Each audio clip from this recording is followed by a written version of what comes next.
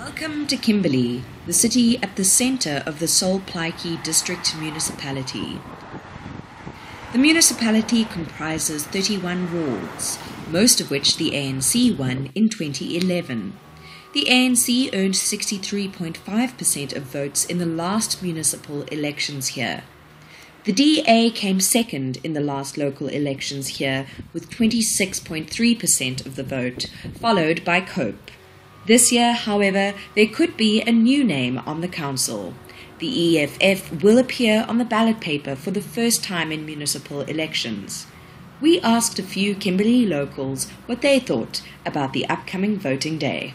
The leadership, the, leader, the leadership is in the right direction.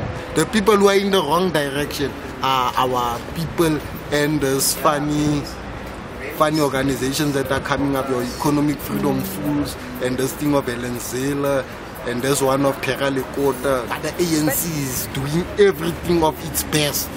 Yeah, that is for your councillor. People's got no confidence in the current government um, because of promises. Uh, I think we need a government that's got the wisdom how to rule the country, and I think we want law and order.